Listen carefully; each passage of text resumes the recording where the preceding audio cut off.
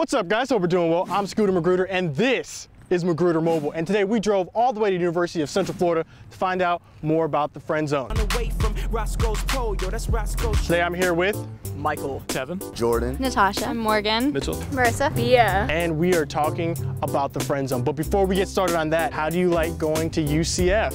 I love it. Best school in the nation. Parking is uh, pretty awful. So far, can't complain. It's pretty good. What do you like about being a UCF Knight?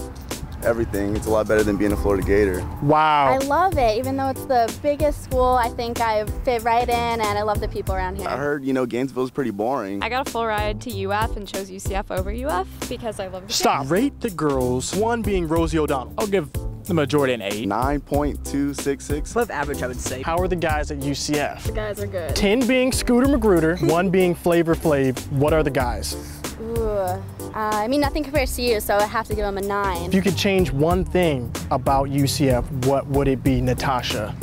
Ooh, how much money it is. I'd pick it up and move it next to the beach. A lot of people commute here, and a lot of people just go home after Yeah. the weekend. So a lot of people don't. Yeah. On the weekends, it's like empty. It's like this. It's just. And I've seen FSU, and FSU has got it going on. Well, we party. I heard FSU is kind of nasty, so it's like a different kind of party. We're a classier kind of party. But Bia, the real reason we came here today is because we wanted to find out more about the friend zone. Friend zone. The friend zone. The friend zone. What is the friend zone?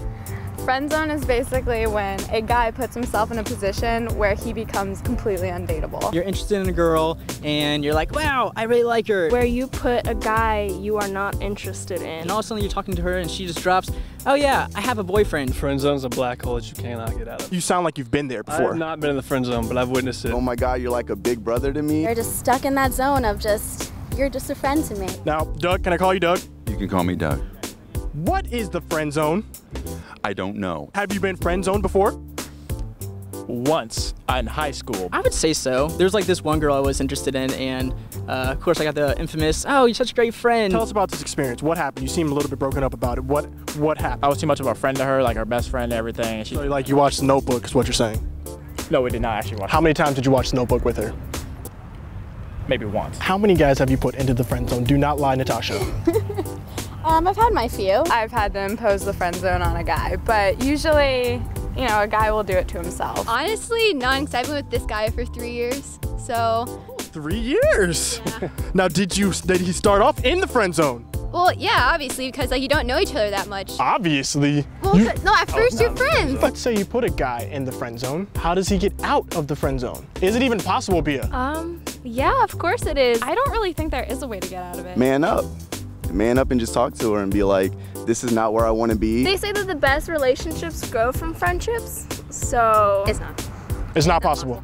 I've never seen that. Take me out to a really nice date and let me know that you want to get out of the zone. Because maybe I don't know. if you're the shoulder to cry on, I'm not gonna want to sleep with You You can always go through a massive like hoax of how you died, and then you come back to life, and then she realizes that she truly does have feelings for you. Okay, so what you're saying, you're suggesting a catfish situation, Manti Te'o-esque. Yes. Got a name. Gladavet. All right, so you say Gladavet. Gladavet, I know we're really good friends, and I have feelings for you that's more than just friends, and I'd like to take it to another level. There's always a way to get out of the friend zone. How, do you know anyone who's gotten out of the friend zone? No. What is it like being a redhead? Um, being a redhead's great. Thank you for calling me a redhead, not a ginger, by the way. I appreciate that. There's I- a distinction. There, there is a distinction. Gingers do not have souls. Did you hear that? That means you've been chosen to represent your university in the academic challenge. What state or states border Florida? Louisiana, Mississippi, Alabama, and Georgia. Are you single?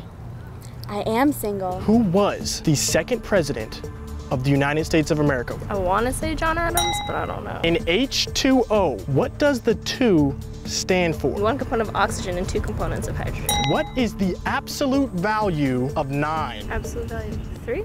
Which team won the Super Bowl in 2011? Patriots. That's all the time we have for today. As always, subscribe if you're new, and don't forget, press the like button. New videos every Sunday. No, Jugamos Juegos. Throw me the alley. Go Knights! Go Knights! Woo!